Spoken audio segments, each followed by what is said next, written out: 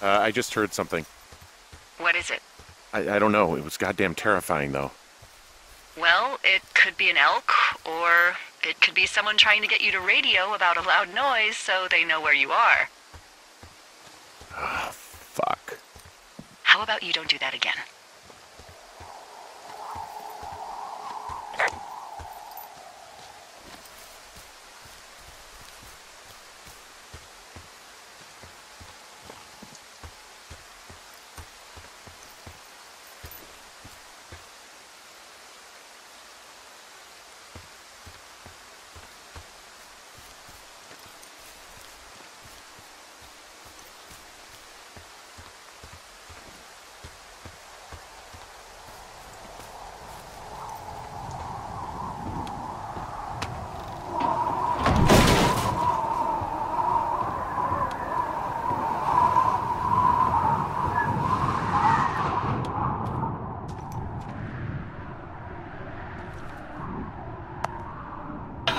Oh Ow! God.